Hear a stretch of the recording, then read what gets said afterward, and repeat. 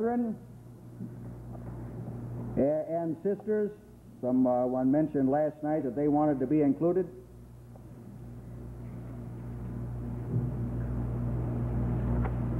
Well, we do want to meet with your good pleasure tonight, Brother Highers, oh, even though we're not the servants of men. I'm sure you must understand that.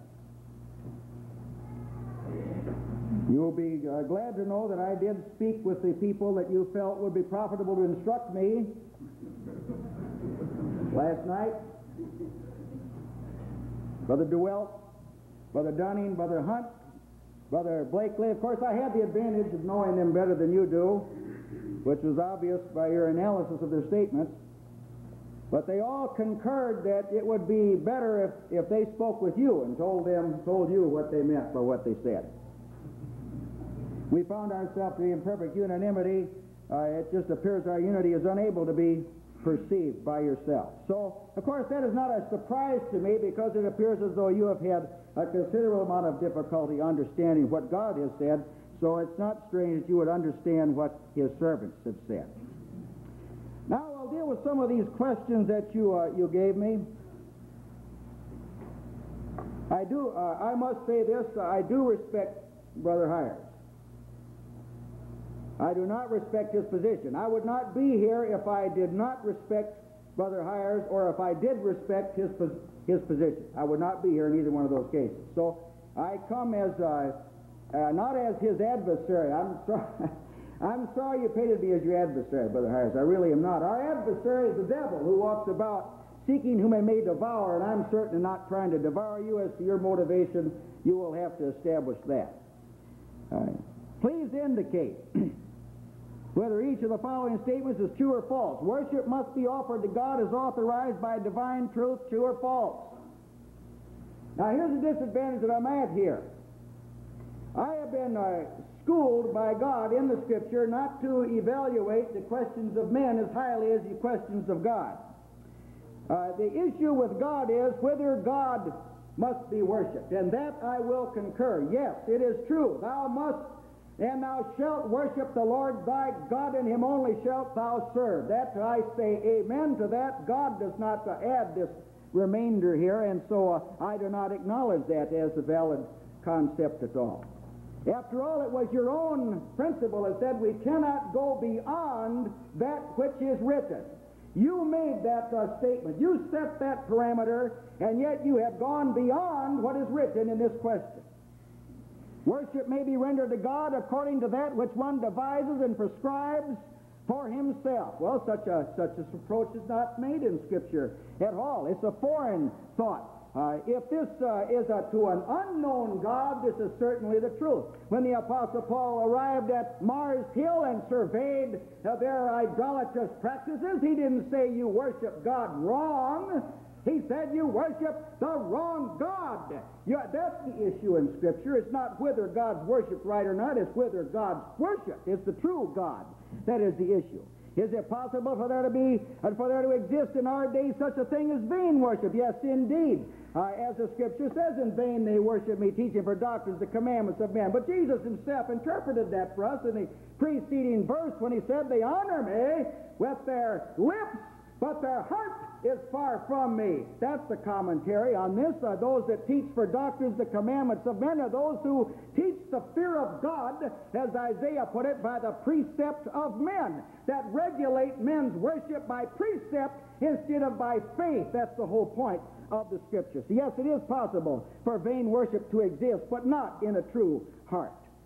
Are there any restrictions on what a New Testament Christian may offer as worship to God? Now, I've read the Word of God for a number of years, and I'm sure you have too, as well as many of, of you. And uh, this has a strange connotation to it. You have to depart from the apostles' doctrine to, uh, to receive these sort of things. The Word of God talks about offering spiritual sacrifices which are acceptable unto God. And they're sanct- it's sanctified by faith as it's offered up to God. The restrictions on if, and I do not choose to even honor this terminology, uh, offer as worship to God.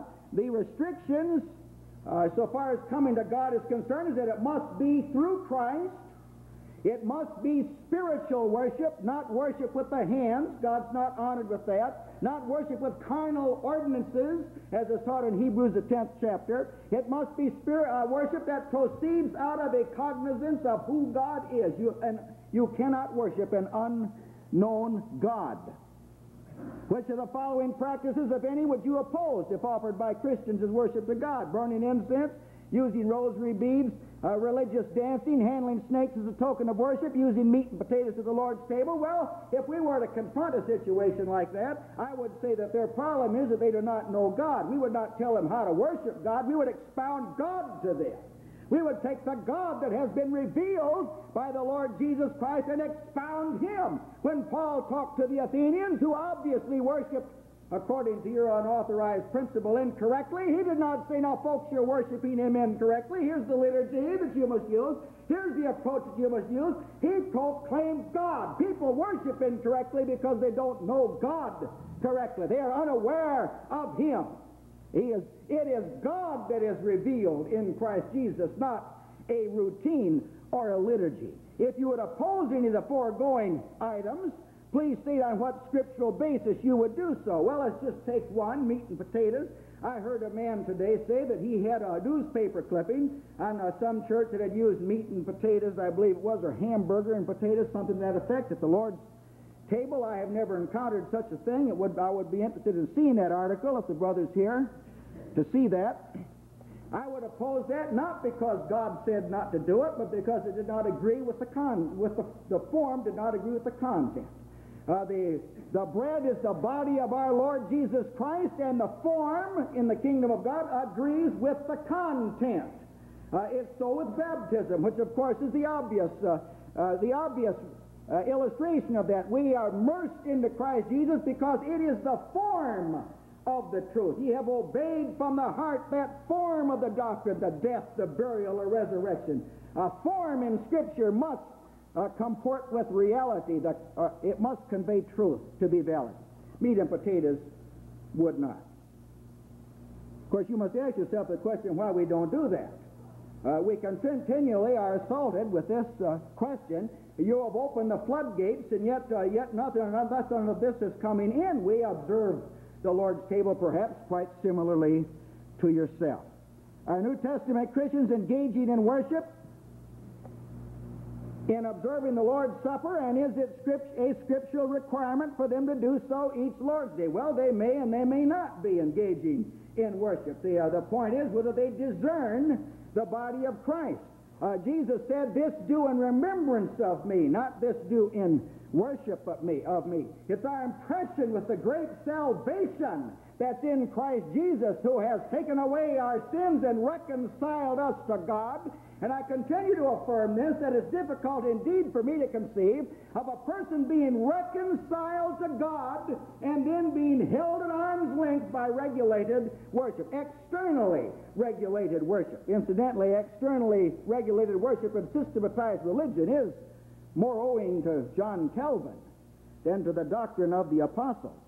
That's why we have all these elaborate quotes that have been given to us of men uh, of a scholarly rank that have given us their definitions of worship. It's because the apostles can't provide these definitions, and that's what I have consistently called for in this, uh, in this debate. Is there a scriptural requirement for them to do so each Lord's Day? What uh, do you mean a scriptural requirement? A scriptural precedent? A commandment? Jesus said, as oft as you do this, do it in remembrance of me. We have an account in Scripture of someone that did gather together on the first day of the week to break bread. I don't do this because I have to. I do this because I want to, because my heart has been touched with the love of Christ which constrains me. Now let's look at this second set of questions. you have stated worship is never associated with a fixed interval of time or a set of required circumstances.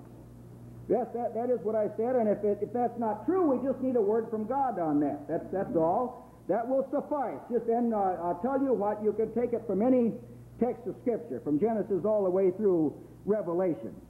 I'm not sure whether you recognize Genesis through Malachi as Scripture, but at any rate, you can select it from there uh, at, at, your, uh, at your discretion. Is the Lord's Supper an expression of worship? It's an expression of remembrance, and it's a proclamation of the Lord's death till He comes. Now, this is how the Holy Spirit speaks about the ordinance. Now, Brother Highers has spoke of it as an act of worship. But when Jesus talked about it, he spoke of it as an act of remembrance. And when the apostle wrote of it, he said, You proclaim the Lord's death till he comes. Uh, I, I don't see why you have so much difficulty with that sort of nomenclature. Are the elements, bread and fruit of the vine, required circumstances? Well, I don't know of any place in Scripture where we're commanded to use those. Uh, I would, uh, well, I reserve the right to be wrong in that. If, if there is a text that says, and you must use this, I would be interested in that, in that text. I do use them, not because I'm commanded, but because their use comports with what they're representing. The, uh, the fruit of the vine represents our Lord Jesus Christ, who who uh, endured the crushing, bruising blow of God for our redemption, who uh, bore in his body our sins upon the tree. And the fruit of the vine most properly depicts that, him who endured that uh, wrathful blow of Almighty God. The unleavened bread perfectly per- portrays our Lord Jesus Christ, who was without sin and had no guile in his mouth, who was separate from sinners and did not have the leaven of malice nor wickedness. So it perfectly agrees with the one whom I am remembering. And somehow to me that seems a more powerful incentive, and I appeal to the audience here. I appeal to your good sense and to your awareness of God. Does it make sense? To observe the Lord's Supper out of a sense of obligation or because you perceive what the thing is all about. I suggest if you don't perceive what it's all about, you eat and drink damnation to yourself, as the apostle taught, not discerning the Lord's body. You stated last evening there's not a single reference where those in Christ are instructed on how to worship or where a group of believers ever worshiped. Well, again, we just need a, a text on that. That's that's all we need. Where is that stated? Uh, instead of asking me these questions, just give me the text, the reference, where it is said that a group of believers met together and worshiped.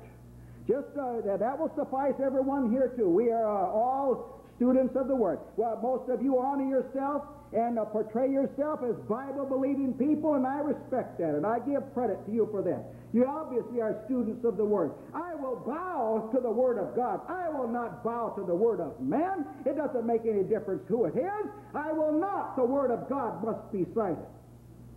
Since you stated last evening that no believer was ever arraigned by the apostles for worshiping wrongly, please tell us the meaning of Paul's rebuke of the Corinthians regarding their misuse of the Lord's Supper. Well, their misuse was that they, in your language, didn't worship. They did not discern. That was the whole point. They didn't come to God properly. They were not worshiping. They were not discerning. They were not remembering. You can't worship wrongly. I mean, such a it's like you're saying that there's an angelic devil. You you can't do that. You can't do what worship is right. It is never wrong. It can be vain, but not wrong.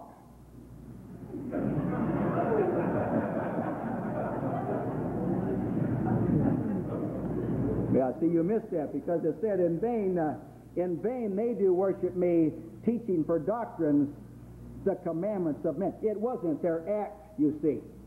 It was their position that voided their worship. You shouldn't have laughed so quickly. Please define will worship, about which the Apostle Paul warned the Colossians in Colossians 2.23. Well, strangely enough, the will worship mentioned there is uh, the approach to regulated conduct, exactly like you are portraying to us tonight. Uh, touch not, taste not, handle not, which indeed have a show of wisdom. Uh, you can regulate a person's conduct by setting parameters, fences around his conduct He can come this far, no further. That has a show of wisdom, the apostle says, but not in any honor to the satisfying of the flesh. That is to say, it cannot squelch the lust of the flesh. It cannot take away a person's appetite for what is wrong. Will worship is an attempt to worship God, if you please, by, uh, by discipline instead of by insight and by the love of God and the love of Christ, which constrains us. If worship is rendered vain by teaching the doctrines and commandments of men, what effect does it have to teach and to practice the doctrines and commandments. Well, that's not the point of the text. The point of the text was they honor me with their lips, but their heart is far from me. Now, Brother Hart, you are a judge, and I ask you this question. Are you saying before this audience that my heart is far from God? Are you saying that I am not acceptable to God? Is that what you're saying? That's what Jesus was saying. Now, the Word of God does not address worship like you do.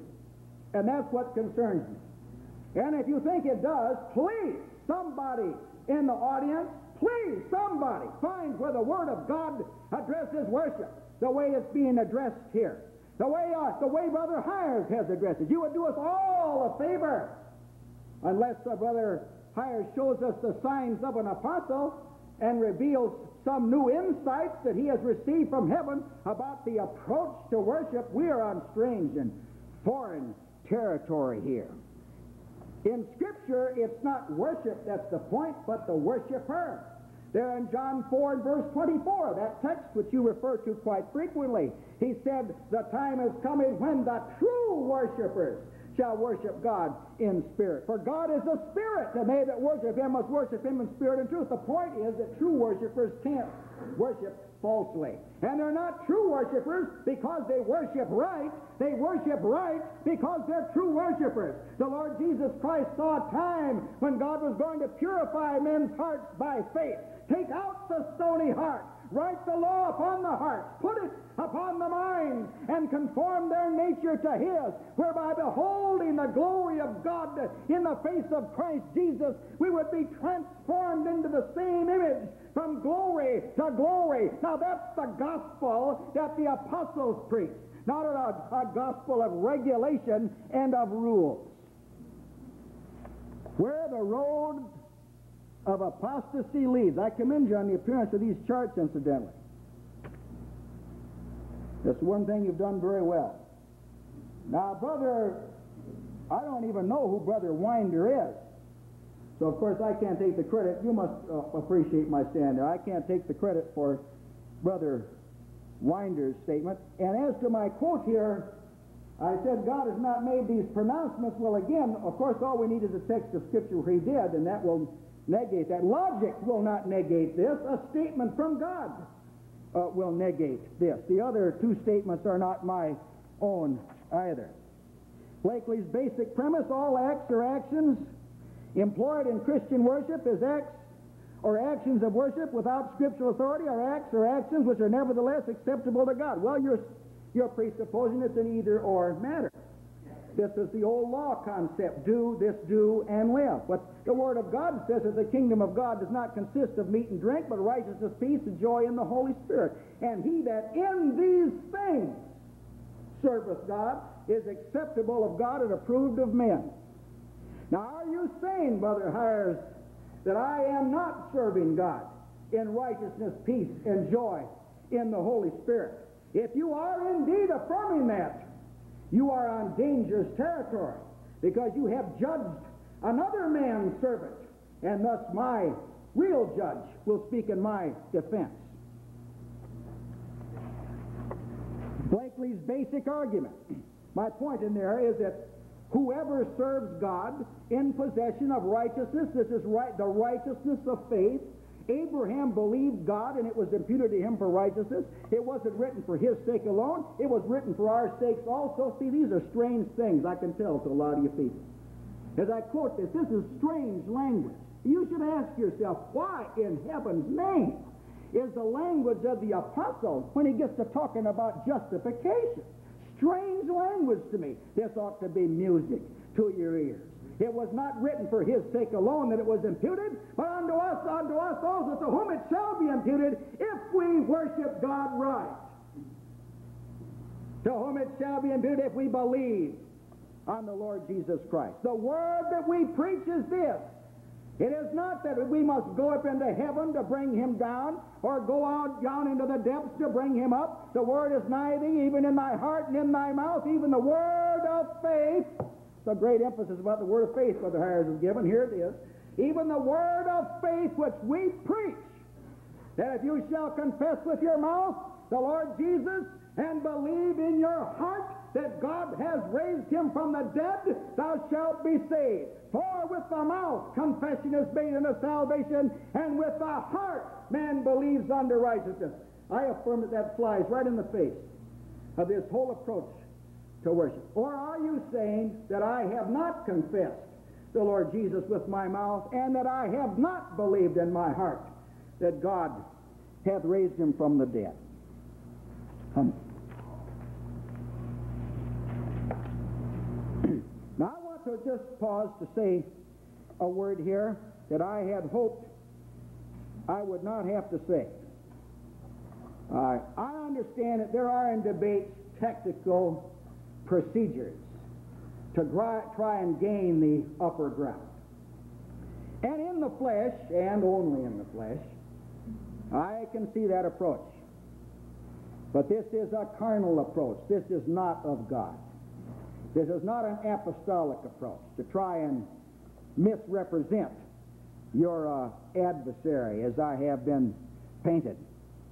I suggest you that if you misunderstand what I have said or what some of my other brethren have said, you should come to us as the Lord has said. Go to them, yourself and Him alone, and try and get to straighten out in your mind what we have said. Do not attempt to malign us or paint us as being divided among ourselves. After all, it would seem to me you have charged that the flood, I have opened the floodgates by saying that God does not regulate our worship. It seems to me that some kind of floodgate has been opened in your own group of brethren. You have, by latest estimate, depends on who you talk to, from 19 to 41 separate divisions. And every single one of them to a division is because of the employment of this law that you are trying to bind on me. So if you were to convince me of it, I would be very confused on which group to join. I would, incidentally, one of your brethren that is here tonight suggested that we change the words over there, instrumental music, and put over there Sunday school classes and multiple cups. Now, of course, uh, I, this is kind of as foreign stuff to me because I, I don't think in those terms, but it might be interesting if you could elaborate upon that to me and then explain what is it that has opened up this floodgate of division among your own brethren? When I read in the Word of God of division and confusion of speech, I read about like the Tower of Babel. And confusion was considered a curse, and division a curse. So I would think that should merit uh, investigation, close investigation. How much time? Second Corinthians, the fifth chapter, and verse 7 has been referred to several times. That we walk by faith and not by sight. The legalistic approach to this is this that uh, what God has said we do, that's walking by faith. But this is in direct contradiction to the teaching of Romans, the 10th chapter, verses 5 through 11, where it states that the law is not of faith, that we, that we walk by faith by embracing what has been achieved for us, not what has been commanded to us. We obey him because we have apprehended uh, the truth of Christ's atonement for us.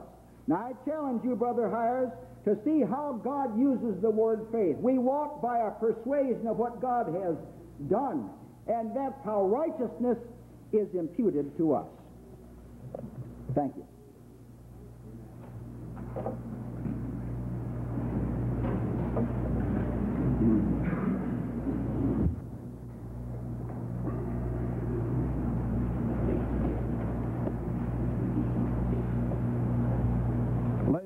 Gentlemen, I count it a joy to be back before you once again for a further affirmation of the proposition and to deal with the matters that Brother Blakely has said in the speech just before us.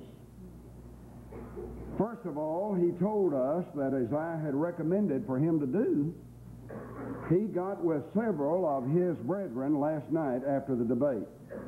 I do not doubt that for a moment. As a matter of fact, I could tell by his last speech that some of them had been talking to him. Because somebody said, You had better answer those questions. That is leaving a bad impression upon the audience that you're refusing to deal with the questions that have been presented. And so he has come along now in the very first speech that he has made in this debate. Here we are into the second night of the uh, first proposition. And he has now finally decided to deal with some of the arguments and the questions presented to it. And I am delighted that he's endeavored to do it. But I was surprised by what he said in his very first statement. He said that he had talked to Brother DeWelt and to Brother Dunning and to Brother Hunt and to Brother Fred Blakely, and that he understood what it is that they meant to say, and that they all agreed it would be better if they talked to me than to him. Well, I don't know why. I agree with what they said. they don't have to convince me. I'm satisfied with the statements made by every one of them to which I've made reference. I certainly do agree with Brother Don DeWelt in the statements I quoted last evening, where that he identified uh, certain expressions of worship with the assembly including congregational singing in Ephesians 5.19 and Colossians 3.16. I agree with what Brother DeWelt said in that quotation. Not only that, but I agree with what Brother DeWelt said up here about worship must be directed by truth and according to the truth. And last night when I first introduced that statement, and before I identified the author of that quotation, you'll remember that Brother Blakely said then that is the very opposite of what John 4.24 is teaching. Now tonight he says, after I've told him who said it, while we are in agreement, I understand what Brother DeWelt was saying. He didn't understand it last night before he knew who said it, did he? He got his understanding after he found out that he was in direct contradiction to his own uh, brethren here who are in attendance at this debate. And he implied a few minutes ago that it is an improper technique for me to array him in these obvious contradictions with his own brethren. Well, I knew before I came here that Brother Blakely would not be satisfied with uh, my technique. But I deny with every fiber of my being that there is any impropriety about it at all. I am meeting a position here that has caused and created division in the precious body of Jesus Christ for more than 100 years. And I am showing what has been taught, and I am dealing with the efforts that have been made to defend the practice that is on trial. And I have shown and am continuing to show that what Brother Blakely has done in his efforts to defend the practice is to repudiate the very efforts that have been made by all of the others in the past.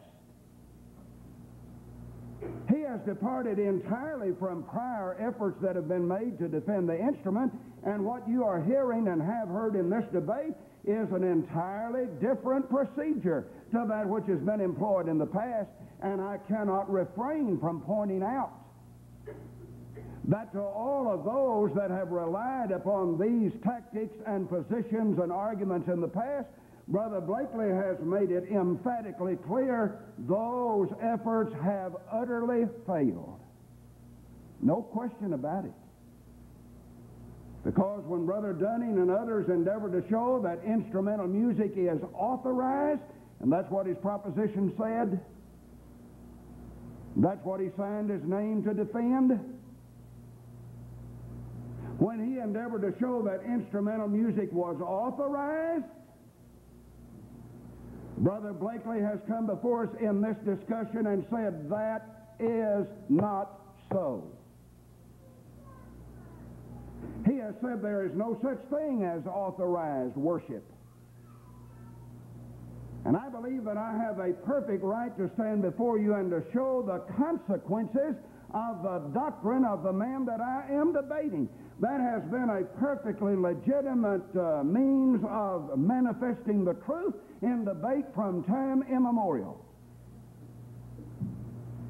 It is obvious that the consequences that follow from a man's argument are properly introducible and are legitimate considerations.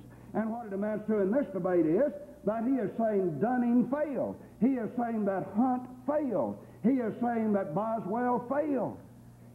And this is one thing on which Brother Blakely and I are utterly in agreement. But I would not have expected it to come from this source. And the very fact that he makes the line of argumentation that he does is evidence of the fact that he does not believe that their defense of instrumental music was proper. Because the foundation of his argument tonight is a denial of the very premise upon which they proceeded. So down goes their arguments world without end. Down goes all of the efforts they have employed in the past to show that uh, instrumental music is authorized in Christian worship. And that is exactly what they affirm, as I showed uh, conclusively and clearly last night from the very wording of propositions that his brethren have affirmed down through the years. He's repudiated that. He's repudiated the very basis of it, and in the process, therefore, has said they utterly failed in their efforts in defense of instrumental music. Then he said that he was not my adversary. Well, he's my adversary in this debate. All that refers to is the same thing as an opponent in debate. He's on one side of this issue and I'm on the other. I certainly don't mean anything unkind by referring to him as my adversary. And then he referred to uh, Genesis through Malachi and said that he did not know whether or not we regarded that as Scripture. I'm surprised if he does not know. And I'm disappointed if he did know and made uh, an assertion of that kind. We certainly do believe that all Scripture is given by the inspiration of God, and he has said numerous times in print and otherwise that he is a regular reader of the publications among uh, those of us who oppose the instrument, and he could scarcely have read very much without knowing that we believe in the inspiration of the entirety of God's Word. And not only that, but I have Old Testament passages up here on the chart, which would certainly clearly show that to be the case. And I am surprised that Brother Blakely would make a statement of that kind. Then he came again tonight and said, Show us uh, where worship is used in the Scriptures as you use it. Well, I don't know what more I can do. I hardly know what else to say. I have presented this time and time again, and he refuses to notice it. Why does he not deal with the uh, statement that he himself has made? Is he going to tell us that it is unscriptural? He said in his paper in April 1987 worship can also be used of individual acts of homage. He said last night that you cannot talk about acts of worship. Why does he not deal with his own statements along this line? I have shown him the definition of the word proskuneo involves an act of reverence, and that is the most frequently used word for uh, worship in the New Testament. Why does he not deal with it instead of constantly making these unsupported assertions that I have not shown what is involved in New Testament worship? Have pointed out that we're to worship in spirit and in truth. And that to worship in truth means that we must be directed by and guided by the Word of God. And that, my friends, is regulated worship. He may speak of it condescendingly. He may speak of it as he has tonight as an unauthorized concept. But to worship in truth is to worship according to truth, and if it is according to truth and directed by truth, it is regulated worship. And then he made reference to the chart that I placed before you a while ago about the extremes that have been taken. Justifying now the rosary beads justifying now meat and potatoes on the Lord's table. Justifying now sprinkling in connection with immersion. He said he did not know Brother Winder. There are others of his brethren here tonight who know him. And know that he is the author of a book uh, widely circulated among them in defense of instrumental music in worship. And about all he could say about that chart was, well, these are not my statements. But that was not the point, Brother Blakely. These positions are the logical consequence of your position. That is what I have shown.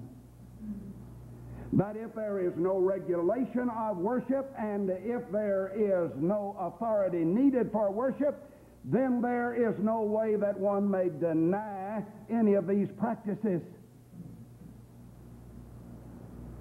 And he made something of a pretense tonight at answering my questions, but he overlooked a great many of them said very little about most of them, and we'll see that very shortly. And all of these things that I pointed out, though said by others, as I pointed out initially, are the logical result of the arguments that are being made in order to favor instrumental music in the worship.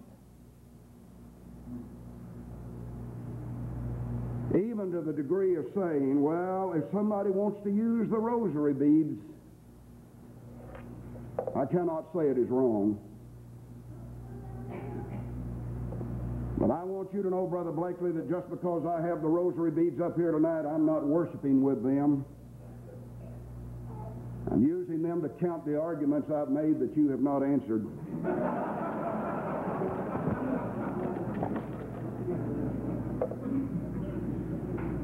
then he said, Will he say that I'm not serving God? And he asked a number of other questions about uh, himself and about his position.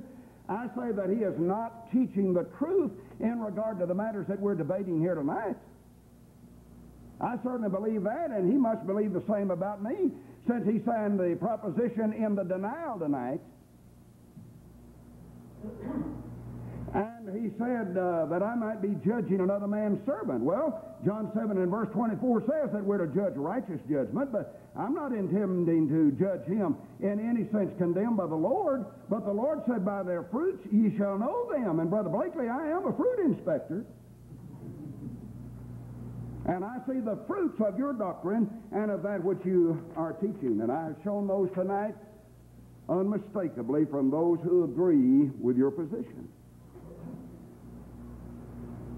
Then, in reference to uh, the quotations that I have given from those who are identified with him, he says that I have misunderstood them.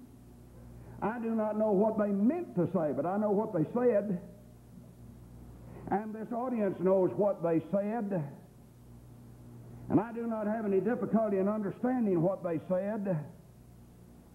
And I'm willing to abide in what they said.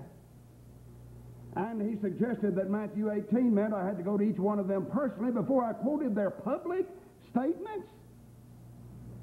That's a misapplication of Matthew 18, which is talking about personal grievances among brethren. It has not one thing on this earth to do with having to go to a man and talk to him privately about a public utterance that he has scattered out in books and publications to the four winds of the earth. And then he said, But you are divided. That was after he uh, told me that it was improper for me to try to show the division among them. And I've become accustomed to the fact that he contradicts himself on a regular basis. He turned around then and did the very thing that he had criticized on my part. But let me show you this. I would not deny that there are divisions among those of us who object to instrumental music in the worship. But I will say that I have a great deal more in common with my brethren with whom I disagree on these various issues, but who nevertheless believe in the authority of the Scriptures than I do with Brother Blakely, who emphatically denies the authority of the Scriptures. And the fact of the matter is, they're divided on the very issue that we're debating. They're hopelessly divided. Some of them say that instrumental music is in the worship. Some of them say it is not. Some of them say it is authorized by the Scripture. Some of them say it is not. Some of them say it is an act of worship. Some of them say it is not. Their division is on the very matter that we're discussing, and they're divided on other things too. Among them, the very inerrancy of the Scriptures themselves.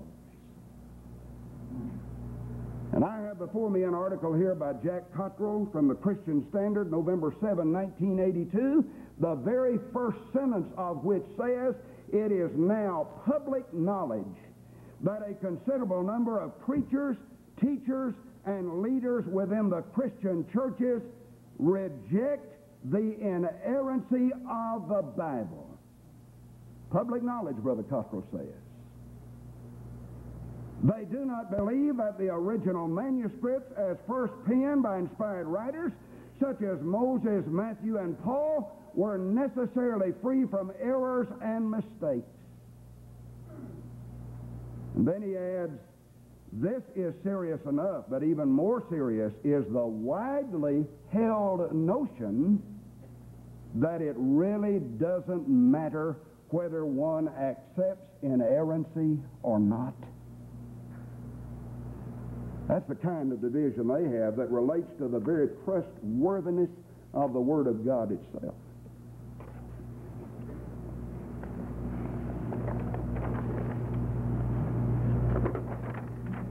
Then I want to refer to what he has said about these questions.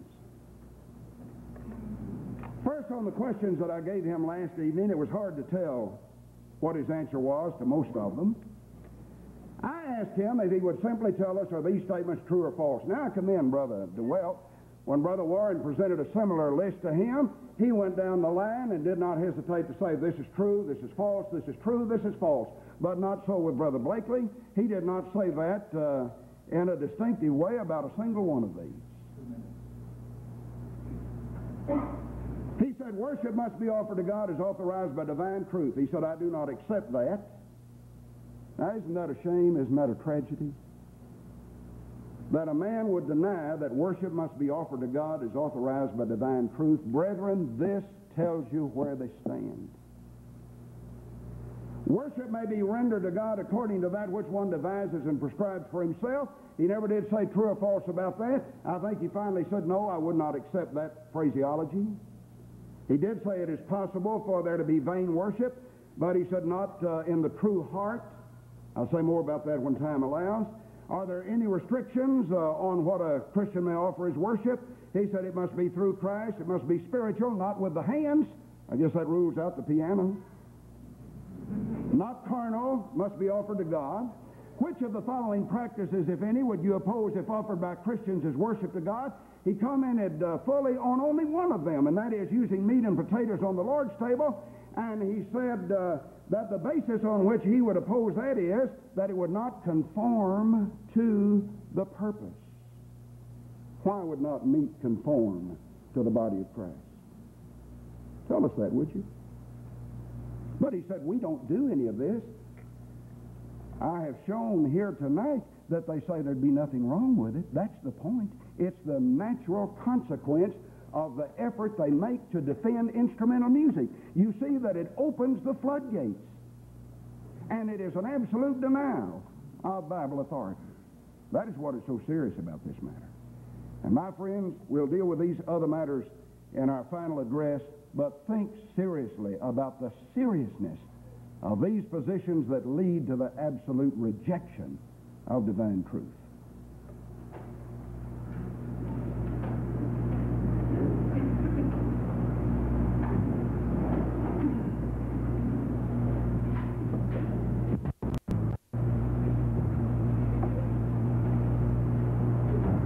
Brother Highers, uh, Brother Jackson, and uh, men and brethren. I do want to, to commend you for your interest in the truth and for attending these sessions.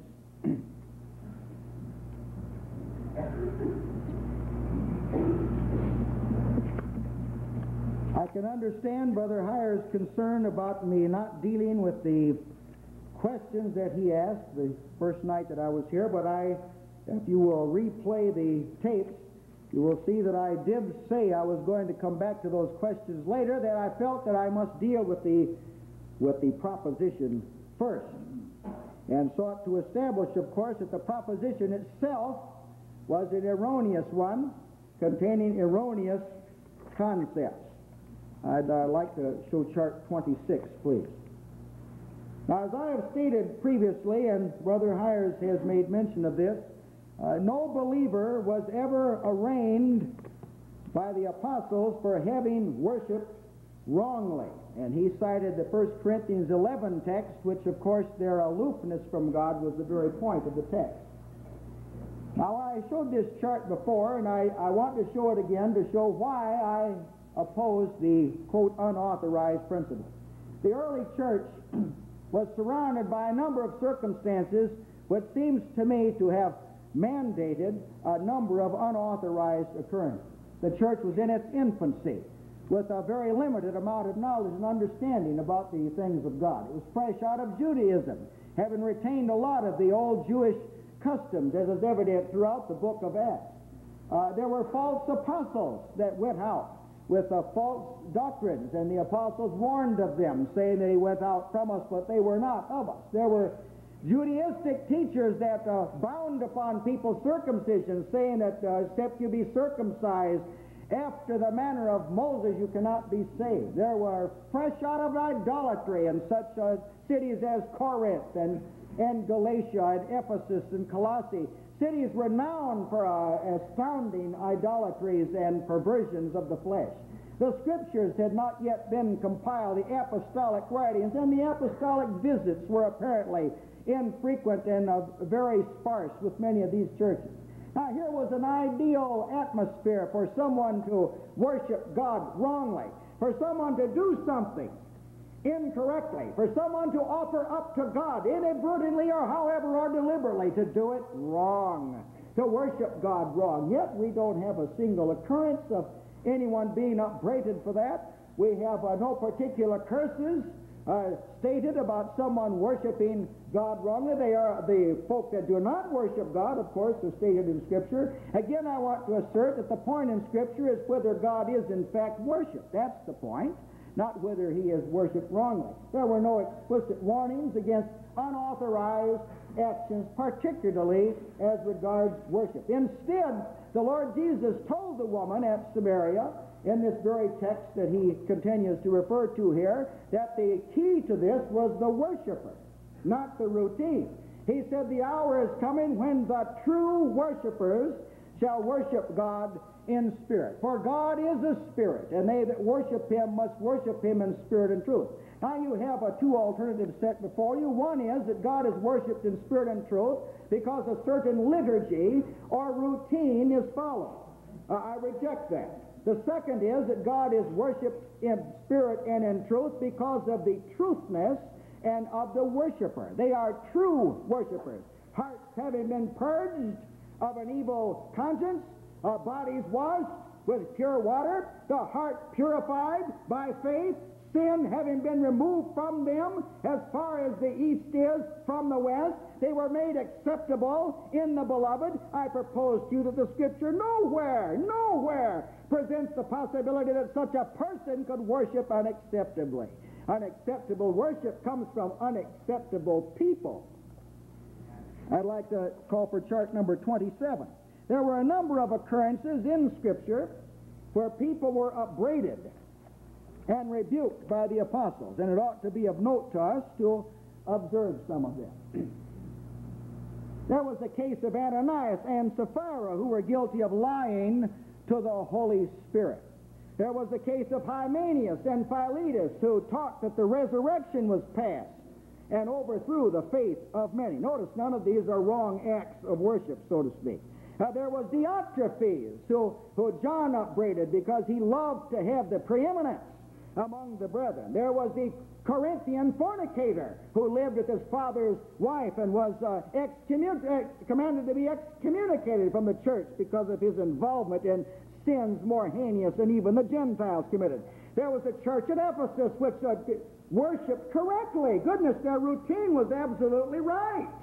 They, uh, they uh, acquitted themselves before God in their external appearance very wonderfully. But the Lord Jesus says, I have somewhat against you. You do all the right things. You say all the right things. You try those that say they're apostles and you find them to be false, but you've, you've left your first love. Now, that's not a, not a matter of an open liturgy. There was Simon the sorcerer who sought to uh, buy the gift of God with money. There was the Corinthian church guilty of not discerning the Lord's body who experienced the unusual chastening hand of the Lord. There was a church at Pergamos who permitted uh, the doctrine of Balaam, which taught people to eat meat offered to idols and to commit fornication. You notice uh, very carefully in all these things, we're not talking about acts, quote, acts of worship or worshiping God incorrectly. Again, the church of Thyatira permitted Jezebel to uh, eat meat sacrificed to idols and to commit fornication. The church at Sardis, their works were imperfect and they were ready to die, having experienced much the same thing at Ephesus. And alas, the church at Laodicea that suffered from lukewarmness, even though they too appeared to have done everything correctly. Uh, I'd like to call for chart 16. suggest to you that the authority of Christ, from the proper perspective, is the issue here. All authority has been given unto me in heaven and in earth, Jesus said. And the objective of his authority is to give eternal life to as many as God has given him. That's the issue. It's not to instruct people on how to worship God. Jesus did not come for that purpose. He come to reveal God to us and a revealed God that is perceived, it is impossible to worship Him wrongly. You must depart from God. You must lose your first love. You must wax lukewarm. You must close your eyes to the Lord. You must trample underfoot the blood of the covenant and do despite to the Spirit of grace. Quench the Spirit. Grieve the Spirit. These are the actions that the apostles uh, painted as a jeopardy to the saints of God. Now, if worship is not divinely regulated, your entire proposition falls to the ground. That's been my position all along. And we need, of course, a text of Scripture where God says, and this is uh, the routine that you go through. Worship in spirit and truth. Are you saying that that's a routine? That this is an action? That this is the act of reverence? That the act of reverence is in spirit and in truth? Or is this the thing that makes the act an act of reverence? My definition here, as you call it, is not a definition. I am commenting on worship, that worship has a very wide latitude. It ranges all the way from the heart to the falling on the face. Abraham and holy men of God fell on their face and worshiped. Uh, it wasn't the falling on the face that did it, it was the uh, spirit and truth in the heart that made it an act of worship. So a mere liturgy will not constitute worship. Chart number 71. Incidentally, I want to draw to your attention that we have uh, this act of reverence, the authority there is a footnote. Now, I know you don't use Scofield's Bible, but it sort of does remind me of Harry Rimmer's experience. Uh, I really can't receive a footnote as a definition of worship. I, I hope I'm not faulted for that. Now, in Christ Jesus, according to Hebrews, the 12th chapter, a remarkable thing has happened. And since we are talking about coming to God and being received by God and being accepted by God, I assume that this is what we're speaking of. I see no relevance to this issue if we're not talking about being accepted by God. The apostle points out to us that the situation that confronts us in Christ Jesus is we have not come in a physical manner to God. The new covenant is dramatically different from the old one says we have not come to a mount that can be touched, uh, that, that had fire and blackness and darkness and tempest and uh, which men could not endure, an accommodating sort of a revelation of God. It was all external. We've not come to that. Where we have come in Christ Jesus, we have uh, come to Mount Zion uh, unperceived Eh, by the eye, and to the city of the living God, the heavenly Jerusalem, and to an innumerable company of angels and to the general assembly of the firstborn and to the church of the firstborn which are written in heaven, to God the judge of all men and the spirits of just men made perfect, and to Jesus the mediator of the new covenant, and to the blood of sprinkling that speaketh better things than that of Abel. It is a wonderful place in which we have come in Christ Jesus. Now, it is inconceivable that here, in the Spirit, having come to these heavenly personalities and beings, that we would worship God unacceptably here. That here in the presence of Almighty God, we have come. So we are come to these things. By faith, we have come to this. This is what the gospel does. This is what Christ Jesus died to procure. This entrance into this heavenly place. He has raised us up together and made us sit together in heavenly places. Now that worship can be incorrectly up here, this I find a lot of difficulty with this. The scripture presumes that getting there is the main thing, and that in Christ Jesus, that's where you get. You come into the presence of God. Where is the presence of God in scripture ever painted as being surrounded by worshipless beings? A people who worship personalities worship in the presence of God. They cannot help but do it because their eyes of understanding have been opened up and they've been illuminated. Once Peter knew who Jesus was, he fell down and worshiped him. Now, John might have counseled him a lot. Oh, Peter, you should fall down on your knees before the Lord Jesus and say, Depart from me, O Lord, I'm a sinful man. And he wouldn't have got the job accomplished. But once Peter saw who Jesus was, the worship problem was resolved. And it is for God's people too. You see, we are the circumcision which ought to worship God. Is that what it says?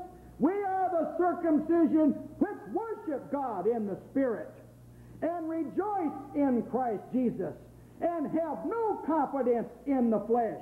And under the law, of course, the whole system of religion was in the flesh. It was the religion of carnal ordinances. I hope that I also will be understood when I say I cannot accept men even of Brother Warren's caliber to define uh, what worship means or any other man. We must have a word from God. You see, we are God. Now we have said that my position is on trial, and actually my position isn't on trial till tomorrow night. That's when I go on trial. Tonight, brother, I'm, i assume that's what the negative. brother Highers' position is on trial tonight. Tomorrow night, uh, I go on trial, and we'll see how that how that fares. Here, uh, in Christ Jesus, we must have a word from the Father on worship. If I'm to be judged, and my worship is to be judged, and the activities that I engage in are to be judged, I must have a word from God. Not an inference, not an implication, not an interpretation.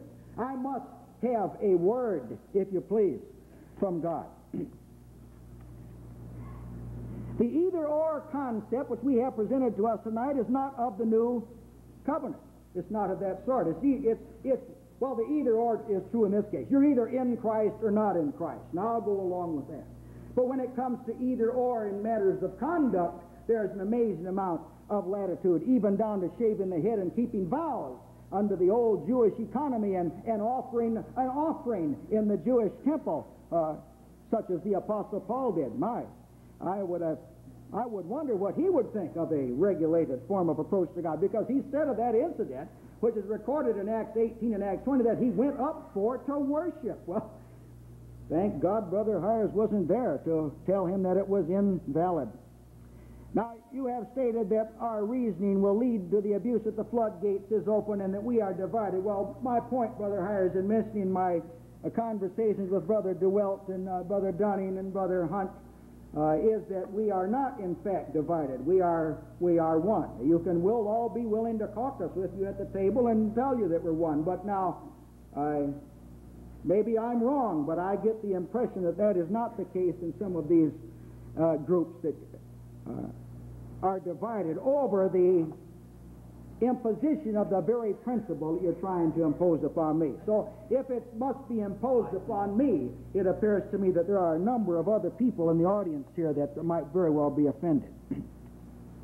now you stated you could tell that someone spoke with me because I dealt with the questions. Well, you, you must not uh, judge me after that manner. I, I had intended to deal with them and told you that I would deal with them. So uh, do not impugn, please, my motives or my approach. I agree. I agree with uh, what they said. You said of my brethren.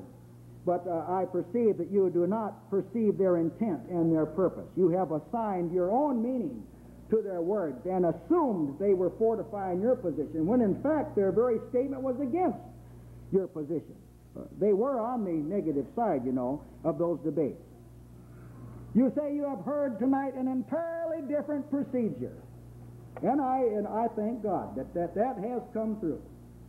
I indeed intended for it to be an entirely different procedure. Not because we've repudiated the former procedures, God forbid. It's because the other one was too hard for you brethren to see.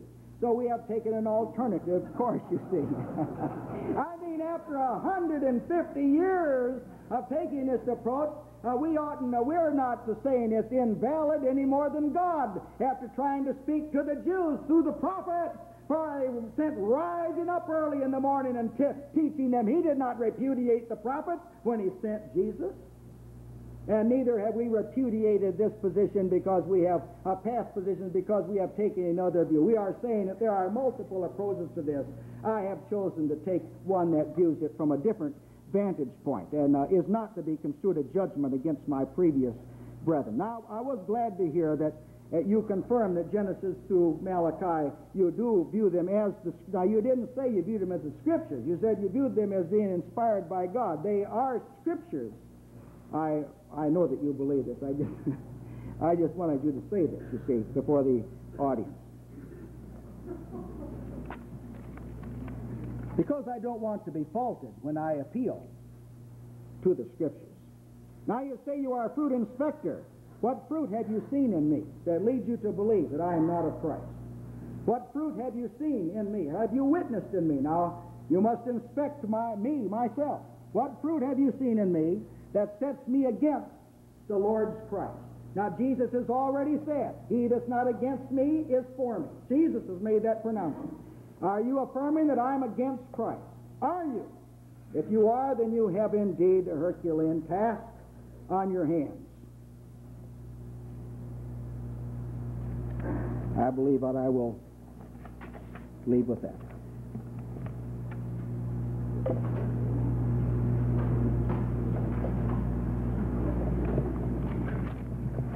This is the last opportunity that I shall have to come before you in the affirmative, and I am content that the affirmation that I have made in this discussion will stand because Brother Blakely has made no real assault against the principles that I have enunciated here last evening and tonight. He has not dealt with all of the passages that I have here on the chart on the authority of Christ. Uh, some of them he has not mentioned at all. He has not dealt satisfactorily with any of them. He has not discussed a single uh, one of the objections that I placed over here against instrumental music.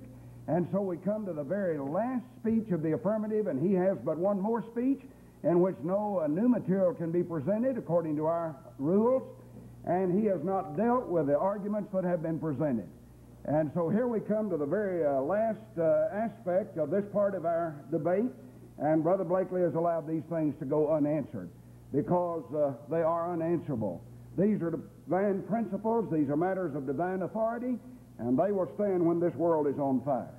Let me uh, see uh, chart number uh, 22. Now, his statement here at the very last that, uh, yes, he did take a different approach because the other was just too hard for us to see.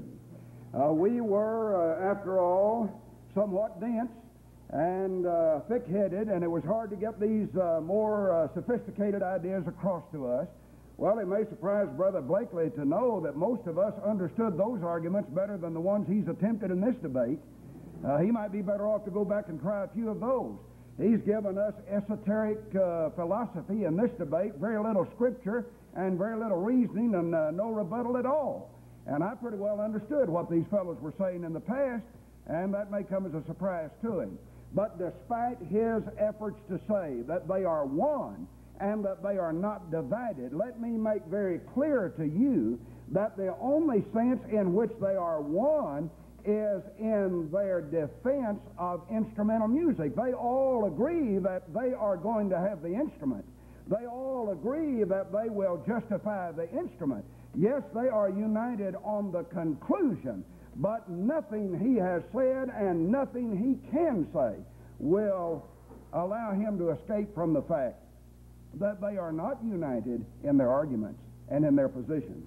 I put this chart up last evening showing uh, various propositions that they have affirmed. And one of them is the New Testament authorizes the use of mechanical instruments of music in worship to God. Dwayne Dunning affirmed that in the Shelley Dunning debate. And any person who was here last night knows that Brother Blakely vigorously objected to the expression mechanical.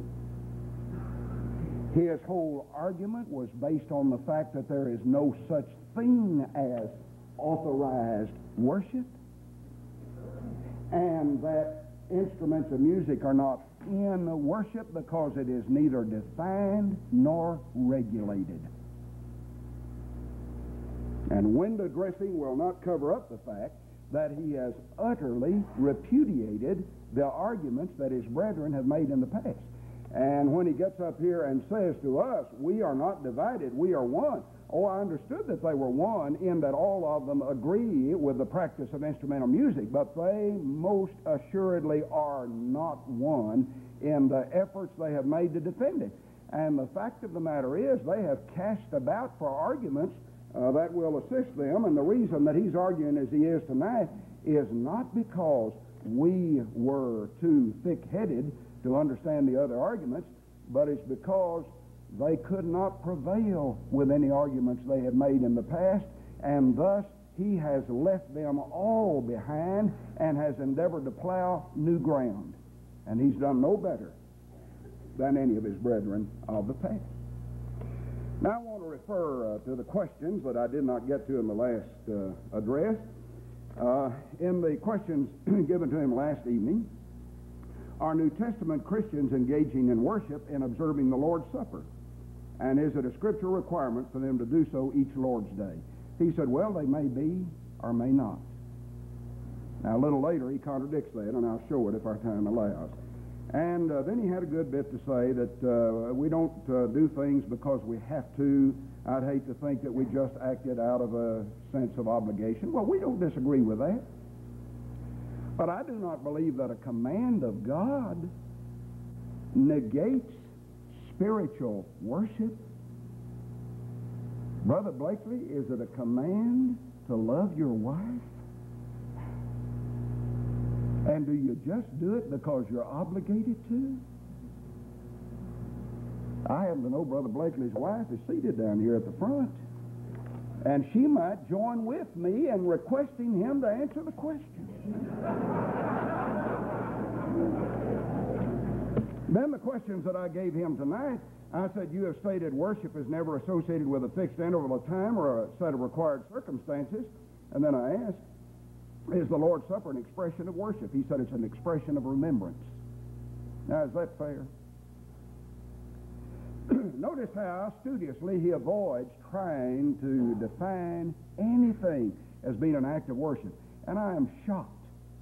I'm shocked that he actually will not admit that partaking of the Lord's Supper is an act of worship.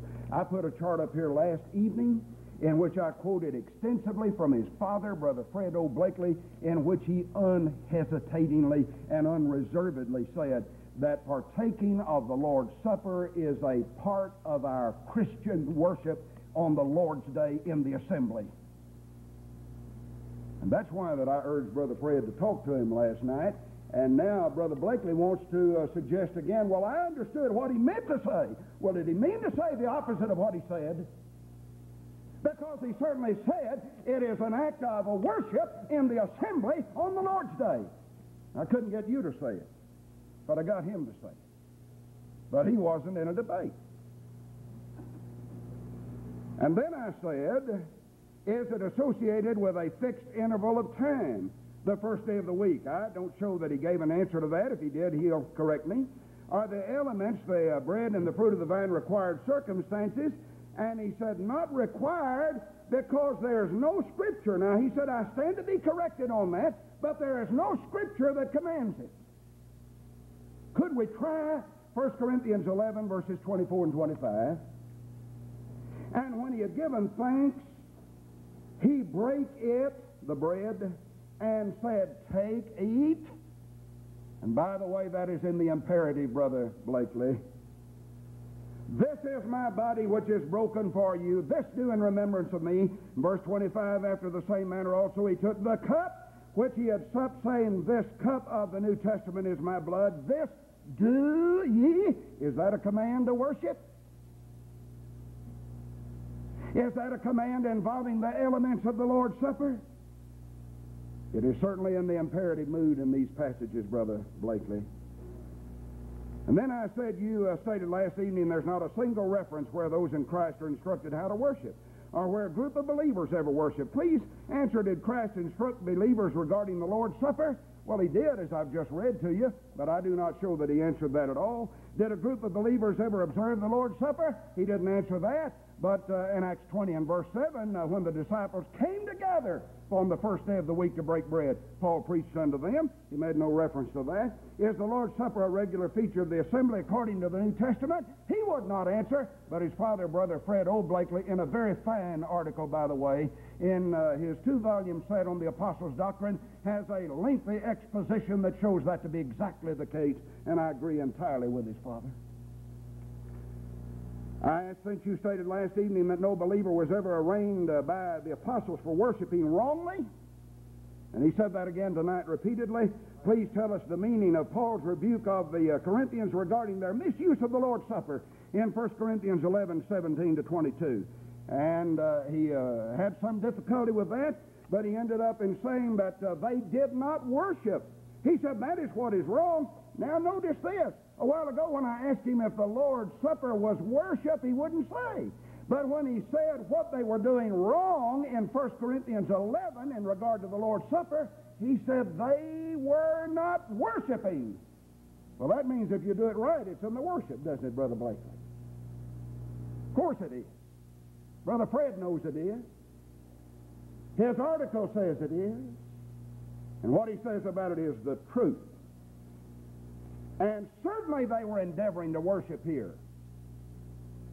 They were making a common meal out of the Lord's Supper. Don't tell me that it was not wrong worship. What they were doing was wrong. And that is the whole design of what is covered here in 1 Corinthians 11 in the passage referred to. And then I asked him to define regulated worship or rather will worship, as spoken of by the Apostle uh, Paul in Colossians 2. And he said that was regulated worship. He said that's what uh, that will worship is. Let me have my copy of Thayer. I want to read the definition of will worship as given by Thayer, but I also want to read the passage here in Colossians 2, beginning at verse 20. First, he's talking to believers. Wherefore, if you be dead with Christ from the rudiments of the world, why, as though living in the world, are you subject to ordinances? Touch not, taste not, handle not, which are all to perish with the using, after the commandments and doctrines of men. Well, now here he's writing to those that are believers. And he certainly is making a condemnation of a certain kind of worship. Which things, he says, remember he said there after the commandments and doctrines of men, he's not merely talking about regulated worship, he's talking about worship that was regulated by the wrong source. Instead of the truth, it was regulated by the doctrines and commandments of men. And in the next verse he says, which things uh, have indeed a show of worship, of wisdom in will worship. And the very word that is translated will worship there means, according to Thayer, worship which one devises and prescribes for himself. Page 168. Now, that's the very thing that his doctrine leads to because he says that there is no regulation. Well, if there's no regulation, then one may devise it for himself. And he said that in so many words again and again when he said there is no such a thing as wrong worship. You cannot worship wrongly if you're accepted of God. And then I said, uh, if worship is rendered vain by teaching the doctrines and commandments of men, you remember last night when I gave Matthew 15 9, he says that doesn't say practicing, it just says teaching. So tonight I asked him, what effect does it have both to teach and to practice the doctrines and commandments of men in worship? Oh, he said their hearts were far from God. That's what's wrong with them. Yes, their hearts were far from God, but why? Because they were teaching for doctrines the commandments of men. That's why their hearts were far from God. Now, here is a very fine article from the Apostles' Doctrine by Fred O. Blakely, Volume 1, published in 1962, the second revision. He says, What is the relation of sound doctrine to the acceptable worship of God? He talks about certain worship being acceptable. Many take the position there is no essential connection. Why, Brother Fred, I know one. I know one that takes that position. I certainly do. But Brother Fred says this even in the professed New Testament church, brethren who have obeyed the apostolic form of doctrine endeavor to come before God with mere lip service. To all such, our Lord's clarion word should come with power. In vain do they worship me. You know, last night he said that's not talking to the church, that's talking to the unbelieving Pharisees. Brother Fred says this talking uh, also to the New Testament church. To all such, our Lord's clarion word should come with power. In vain do they worship me. Listen to him. When shall we learn that we can only come to God in God's appointed way? That contradicts every syllable of every argument that his son has made before this audience tonight. Because he says God has no appointed way.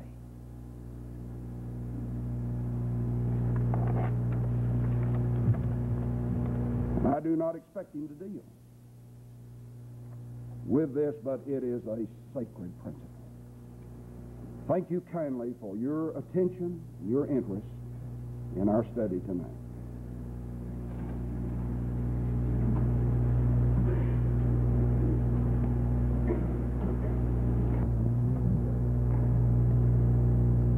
And Brother Highers, Brother Jackson, and brothers and sisters. And if there are others who are not in Christ here tonight, uh, we address you to and, and appeal to you to give heed unto these things that you have heard. I first of all want to thank Brother Harris for the time that he's spent. I know this has been at some personal inconvenience to yourself, and I appreciate uh, this endeavor to enter the arena of thought and to challenge uh, one another and our brethren with different perspectives and approaches to the Word of God. Now, you have mentioned that we are one, those of us who I said were agreed, we are one only in the defense of the of instrumental music. Of course, that is a bit uh, a bit restrictive. We are we are united on a number of other things than that, as you must know. But uh, I also observe that many of you brethren are united basically only on your opposition to the musical instrument. So, uh, aside, let's dispense with that. We shouldn't uh, engage in a my dog's worse or better than your dog, but we both sort of cast in the same dilemma, Brother Harris. And uh, my point is that the is that the difference in your brethren is due to the application of the law of exclusion. That has been my point uh, all along. Uh, I'd like chart three, please. On this, my closing speech, I want to recall to your minds once again the proposition that Brother Highers had. I have referred to it in the first uh, evening as a syllogistic Excuse house. Excuse Yes, sir. You're not supposed to introduce any new material in this final affirm, uh, speech tonight. All right, all right. Well, all right. This is not new material, but all right. Chart 18.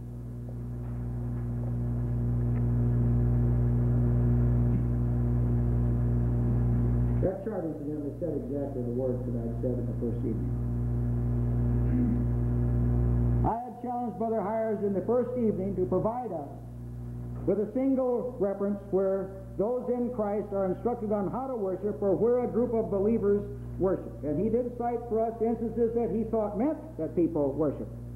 But they did not say that that was the case. If no references can be provided, how can you be so sure of what is authorized? Chart number seven, please. Again, I'm attacking the language that was employed in the proposition itself. That the proposition presupposed a network of interrelated requirements, prescriptions for people to come to God. And I deny that that was the case. Where in any age or at any time was worship divinely associated with external actions or procedures? What is the basis for the supposition that the worship of God is or ever has been detailed? Now, those are questions that I raised early in this debate, and I wanted a clear statement to that effect from the Word of God.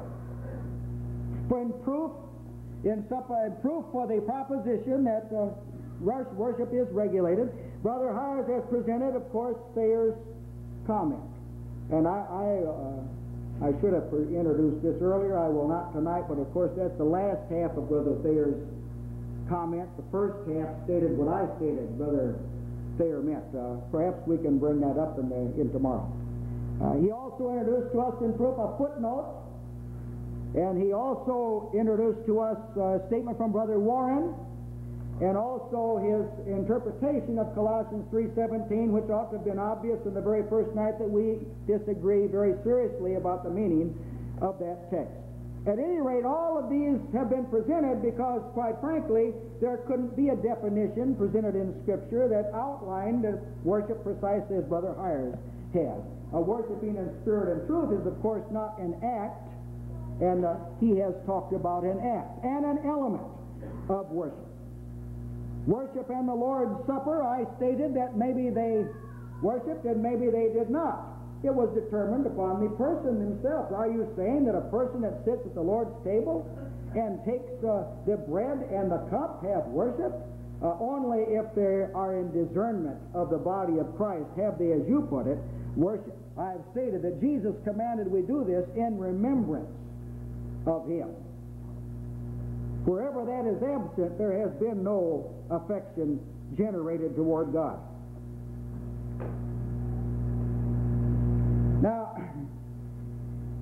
I appreciate that statement that you made, Brother Highers, that uh, God commanded me to love my wife, and did I do it just because I was commanded? Well, I think she could answer that very well, and uh, God could answer very well that I love him not because I've just been commanded to do so. It's because I've seen him as he has been revealed in Christ Jesus, and he has been compelling to my spirit. I have been drawn toward him, and God nowhere presents to me the possibility that being drawn to him through Christ Jesus in the gospel will be met by resistance on the other side.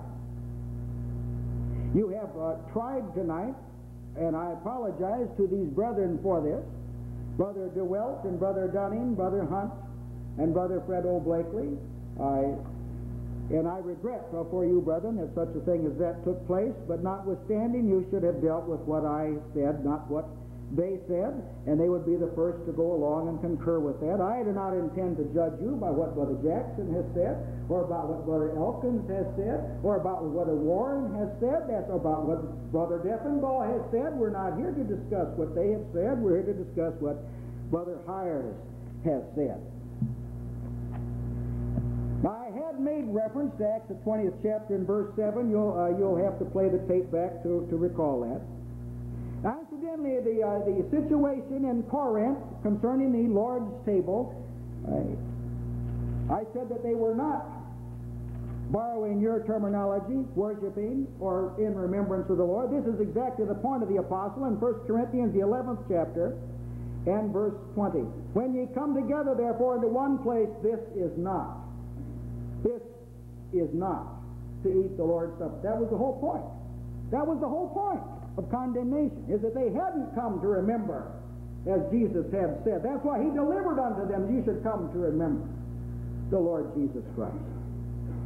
His uh, objective in 1 Corinthians 11, verses 24 through 25, if you are stating that his objective was to specify what the elements were to be, it appears to me that plain that Jesus was specifying what the activity of the heart and mind was to be. This do, he said, in remembrance. Not this do in this manner, not this do with these elements, this do in remembrance of me. Will worship, uh, Brother Thayer I assume he was a brother. I'm not quite sure. I'm not familiar with, with Thayer. At any rate, I don't, uh, I don't, of his theological positions, I'm not sure that he's an adequate authority in, in things pertaining to God, being as he's lived uh, over a millennia and a half after the apostles, an inappropriate uh, authority for the things of God. Will worship.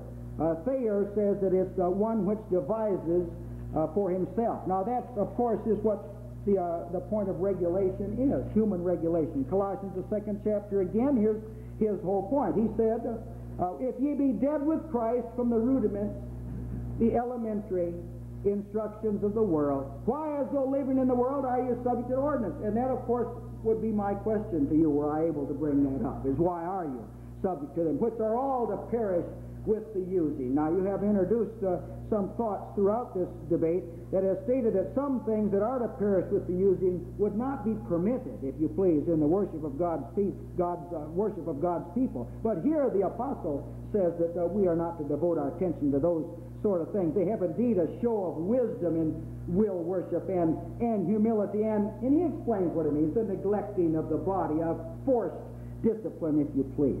Uh, will worship there again has to do with trying to regiment your worship to God on the external rather than on the internal manner. Now, we do not pay mere lip service to God in Christ Jesus. And I want to close with this uh, text in Hebrews, the 10th chapter, one of the great hallmark texts of an approach unto God. In God's appointed way, he quoted my, my father, and indeed it is. I want to read God's appointed way for you to come unto him. Spelled out for you, no interpretation required. Having therefore, brethren, boldness to enter into the holiest by the blood of Jesus, by a new and a living way, which he hath consecrated for us through the veil, that is to say, his flesh, and having a high priest over the house of God, let us draw near with a true heart in full assurance of faith, having our hearts sprinkled from an evil conscience and our bodies washed with pure water. Let us hold fast the profession of our faith without wavering, for he is faithful that promised. I suggest to you that if you come to God in this way, that's his appointed way, and you will not be turned away. You will not worship God incorrectly, so to speak, if you come in this manner. But this is quite different, you see, from a liturgy. This is language faith can get a hold of. All of these things are things not perceived to the eye of the flesh. They are all things that are within the veil, where God is, how the gospel hearkens you to peer beyond the seen to the things that are not seen. For the things that are seen are temporal, the things that are not seen are eternal. And if with God and Christ and the atonement and your acceptance in Christ, clear in your vision, your heart pulsating with the life that comes, because you believe that God is and that He's the reward of them that diligently seek Him, particularly has expounded in the gospel of our Lord Jesus Christ you shall be accepted of him. I thank you, brethren, for your attention.